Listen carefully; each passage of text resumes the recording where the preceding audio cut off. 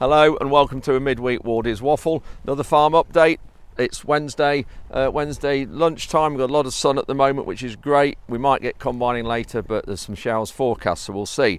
Anyway, hope you enjoyed last night's uh, video I put up talking to Andrew Todd, the Australian farmer I met at the weekend. Some really good comments from you all. You enjoyed that, so that's great. Um, I'll see if I can get some more like that going forward because uh, it's great to hear farming's um, what farming's doing the other side of the world and viewpoints on different types of agriculture because clearly they've got far different regulations than we have and I think really they've got a supportive government. But anyway, um, we won't get on about that because you know I can go on for England about that. Uh, this update, we'll start off by looking at sugar beet. You can see here, I'm in one of our crops of sugar beet. This is on the heavier soil, so uh, this is sort of a bit higher clay and sand, uh, silt content than what we've got on the other land. I'm going to dig some roots up in a minute and just compare them uh, to, uh, to the light land up on the heath. Just regarding sugar beet, we haven't done much about this crop the last few weeks. Uh, British Sugar have just announced a, a, bonus for lifting early and if we harvest beet between I think it's the 4th and the 11th of September which is exceptionally early they'll pay us an extra four pounds per ton on top of the contract price uh, in that period and then that drops 20 pence uh, per day through to the end of September. So at the very end of September, we're getting 20 pence per tonne on top of the contract price that we're growing for this year, which is 40 pounds a tonne. This is just a screenshot of, of, uh, of the table. Um, you can just see, if you want to freeze this, you'll see the, the pay or the extra money we could get on delivery. But my dilemma is, you know, this crop wasn't harvested until May the, sorry, planted until May the 4th, May the 5th. It does look really well considering it was planted then. I think some of that is down to the uh, Väderstad Tempo direct drill we had in here, hit moisture straight away, and we got four millimeters literally the night we planted this crop. So it's exceptionally late to go in the ground. Um, we then tractor hoed it, uh, or interrow cultivated it, call it what you like. That helps the crop a lot. It re-energizes the nitrogen and um, it uh, just puts a bit of air and, and uh, freshens the beet up, air into the soil. So that helped a lot. But we're going to dig some roots up in a minute just to compare where we are. Um, so I'll do that but just to carry on uh, in this update what we've also got we're going to look at the other crops. We've roundup off or glyphosated off some barley uh, some oats and some beans. We'll take a look at that just see where they are. It's definitely made a, a big difference and um, also we've had a Manitou come on demonstration uh, Manitou wanted us to try the new 1041 model. Ours is a 941 as you know, uh, or some of you might know. So we're trying that one. So a bit bigger machine, but the same reach. Possibly it says 10 meters, but I don't think it'll have much more reach. So we'll look at that as well, uh, and just a few general snippets around the farm. Anyway, let me start in this uh, sugar beet and we'll dig a few roots. Thanks very much for watching. Hope you enjoy this update and hopefully we'll see you at the end. A bit more moisture lower down Right, let's just see what we end up with. I'm prizing the... Let's just see it snapped it off. I don't know whether that's fangy or what sort of root we're going to be getting. Yeah, that's not brilliant. You can see here, Nala, come out, Nala. We can see the fangs there.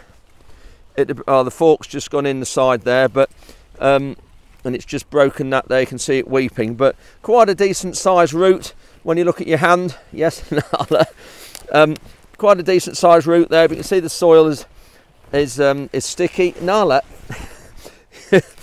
she obviously hasn't forgotten the sugar beet time last year. She loves chewing these, but a little bit fangy. It should be have one central tap root, but we'll take that up to the heath and we'll just see what that's like compared to sugar beet on the light land. Or rather, Nala might take it up there. So there we are. The root on the right was the bit fangy one that Nala had. That's since found and the one on the left was one I've just dug and that's a lot better shape that is and a lot bigger. So we'll compare these up to the heath and see where we are. See the cultivations here going well. Not particularly uh, difficult field this. It's come up quite lumpy. Remember this headland was wet. It's where the winter wheat and nitrogen trials were. It was quite wet when it's done. That's why they wanted a lot of crop on this headland, but decent soil this. So all we'll do with this is leave it, it will green up, we'll glyphosate it, we'll spray it with glyphosate or Roundup, whichever you know it has, once or twice before drilling. It with wheat yet again, and that'll be six years continuous wheat. This field, the field over the hedge there, and then the field just through there as well. This side the green near the trees we'll do that. So that's three fields here continuous wheat and they won't be planted till probably october the 10th maybe a bit later. So i've just come to the heath onto the light land. Got a field of beet here that's 57 acres. You can see good big nice square field but the crop's looking really good. I'm pleased with this. So we'll just uh, dig a root out here and see what we can what we can end up with. Oh the fork goes in a lot easier here. There we go. That's loosened that let's see what that's like. Yeah a bit fangy. Get the soil up. You can see the soil's a lot lighter. A lot easier a lot sandier. A little bit fangy but not too bad. We'll just dig one more so to compare two of them. Yes nala that's sugar. No don't chew that so pick another one here at random. Just see what this is like. Well that's coming out first time. There we go.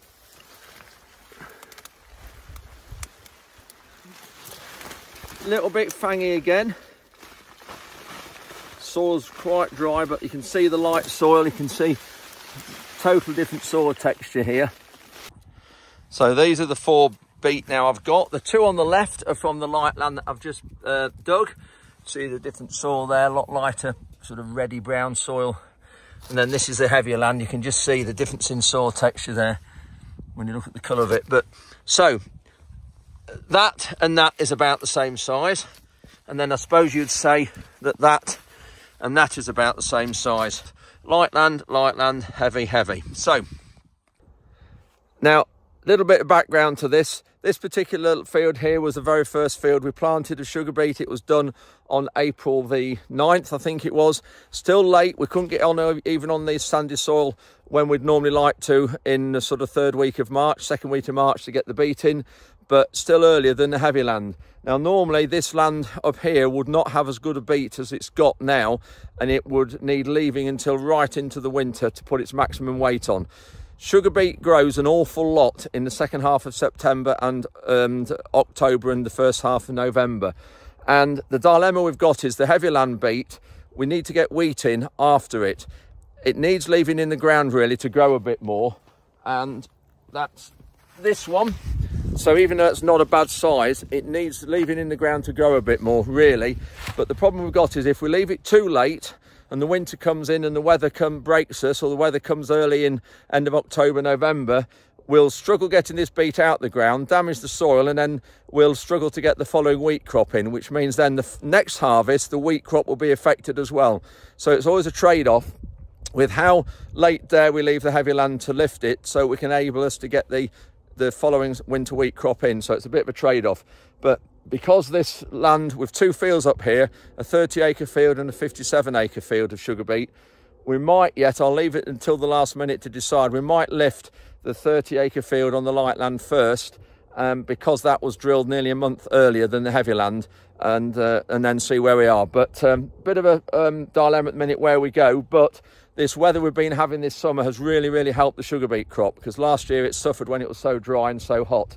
Um, the one thing that might have suffered a bit is sugar because we do require the sun to give us high sugar content and high sugar is what translates into yield because it's sugar we get uh, paid on and um, so it's one of those things that we don't know until we get harvesting the crop where we're going to be british sugar do do test digs and we haven't been selected this year. The fields are selecting at random, and we haven't been selected this year to do that. So I'm not quite sure where the sugar content is, but I think it will be lower because we haven't had so much sunshine. But hopefully, the trade-off will be that the rain will have increased the root weight, so therefore we'll have more tons per acre of the root, even if the sugar content itself is slightly lower. Anyway, bit of a story about the sugar beet a bit of information about what we do because uh, sugar beet as an area I think is dropping uh, quite a bit across the country because of its variable yield and uh, and the price that we get paid for it. But the minute this coming year we're on 40 pounds a ton, which which will be good. And if we can just get some more right weather to increase these sugars, I think it will be a decent crop this year. Just looking at the field of oats behind me, this was uh, done with glyphosate about 10 days now definitely made a big difference. Bit thin when you look down into it from above. You can see there's, there isn't the green straw that there was, so made a big difference. We just need some sun to harvest this. So when we get into here, I'm not quite sure when that will be because we've got a bit of rain forecast um, tomorrow, but we'll see. Uh, this is Wednesday evening at the minute, but we'll see where we are and uh, see if we can get some of this crop uh, combined because we need to get some of these spring crops in the shed. One of our local Case and uh, Manitou dealers that we've dealt with and getting the um, forklift from have brought us a Manitou demo machine to try and this is the only one in the UK at the minute. You can see here it's the Manitou uh, UK demonstrator. It is a 10 metre 10 metre 4.1 or 4 tonne lift to 10 metres um, height and reach. It's got 145 horsepower engine. It's not um, a hydrostatic or a vario transmission, it's power shift. I'm not quite sure what the L bit here stands for, but we're going to try and compare it to our um, 941 and just see the reach and things. So we'll just see what it's like.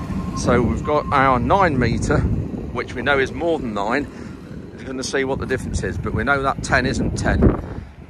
So we'll just see, get the wheels the same.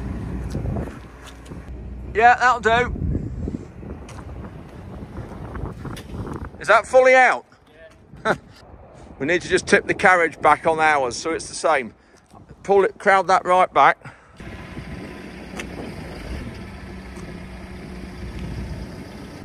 If anything, ours has more reach. If you look at the line on the concrete, compared to when you look at the boom, I think it's an absolutely identical boom to ours. When you look there, and then we look at ours, I'll just go underneath and try not to get covered in oil. There we go. I just think it's an identical boom. Now, our chassis is shorter, you can see we've put the wheels together, but when you look at the back of it, definitely you can see how ours is, is shorter. And that's where they get the reach from. So I think the length of the reach, when it says it's a nine or 10 meter boom, comes from this pivot point here. You can see there's the boom that goes right to the front compared uh, to there.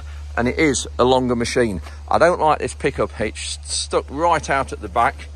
It just looks like it's an afterthought compared to ours that's that's sort of built in a lot smoother lines. Um, what else have we got here? It's a lot higher machine, this one is. You can see here when you look at the, in fact, I'll just turn the camera around. You can see here the top of the bonnet underneath the air cleaner here, air filter. It's about level with the top of my head. Yes, I know I'm only uh, knee high to a grasshopper, but we will stand alongside this one and you'll see the difference here it's only just above my shoulder height so you can see there is a big difference here um, of, uh, of height of the machine so just to look around it a bit more longer is to see between the wheels the wheelbase is longer got more work lights on it. Nice light here. Ours has this camera on to looking down the side of the machine another work light there. All those mirrors um, folding lights now which is handy because I did damage our lights you can see. That's my fault. I caught it on our new contract tipper trailer which is there in the dark a week last Thursday night.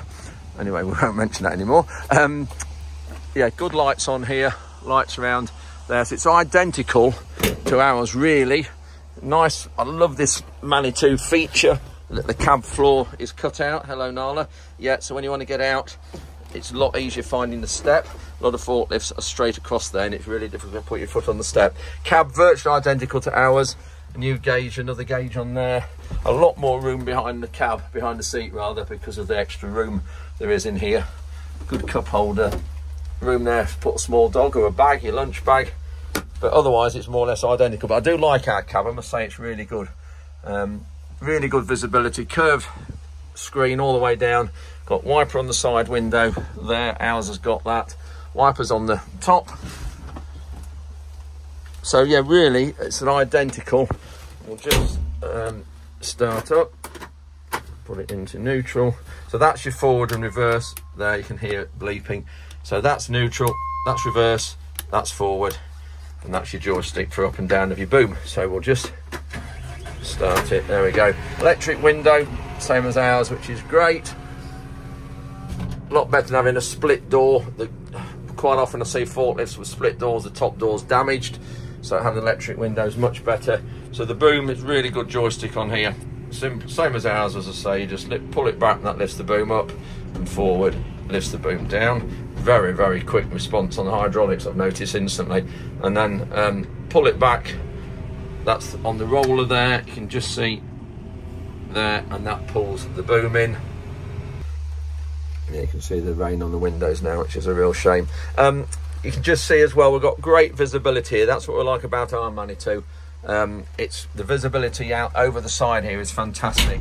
The boom drops right down low. In fact, it's probably better here than ours. Ours is really good. We can see right behind you. So it's really good visibility on these. Fantastic. The rain is not fantastic. Ah, that's about jiggered combining for today if we were going to try it, I think. You can just see in that workshop doors there, it raining. Nala is getting wet and doesn't like it.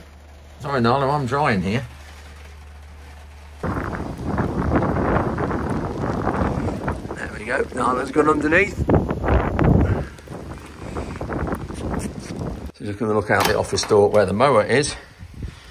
And it's still going, which it doesn't need to be. You just see now the rain, so I'm going to call it back and put it to the charging point. I'm still learning with this mower because I'm not quite sure whether it's got a rain sensor in it that it goes back to the station to charge and stops mowing in the rain because I like it if uh, if it's there somewhere. But look at the rain now. Yep, that's stopped combining or any chance of having to go on the barleys today. Just putting the trailers and machinery away in the shed. Got rained on and water in them when they're left outside. That one needs doing as well. Combine's in the shed here. Yes, it's nice and sunny now, but you saw a minute ago in this video it wasn't.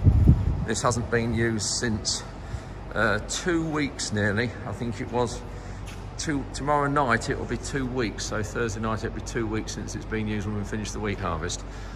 But yeah, lovely weather now.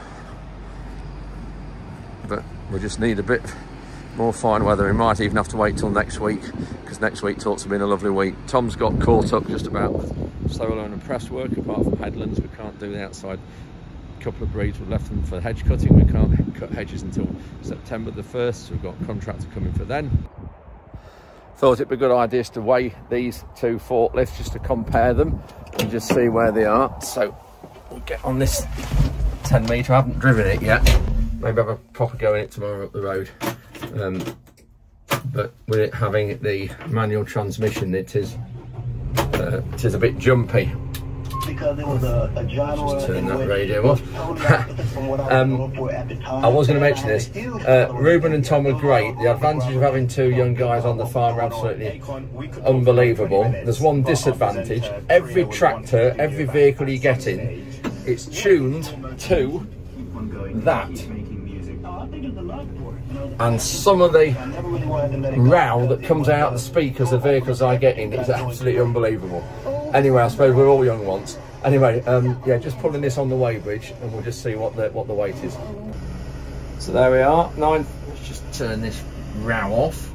Um, 9,420 kilograms, which is 9.42 tons. 9.4. That's with me on it. I'm getting ours out the shed now. We'll uh, we'll get on the get on the weighbridge, and I've just had to mute this because look, Radio One yet again. The drivel that they put out on that station, unreal. So 9.4 tons was the other one. Oh, big difference. If you can see through this dirty window, 8.1. So we're 1.3 tons different on a forklift that will reach exactly the same. So that's it for another midweek update. Thank you very much for watching. Hope you've enjoyed looking at various crops and the sugar beet. Good update on the sugar beet. Haven't done much with that for the last few weeks. We've been concentrating on the navy beans or the that will make baked beans. Incidentally, they're not quite ready for glyphosating off. We're looking at probably next week to do that. Anyway, that's it for now. Hope you enjoy this update and we'll see you on Sunday and thanks for watching.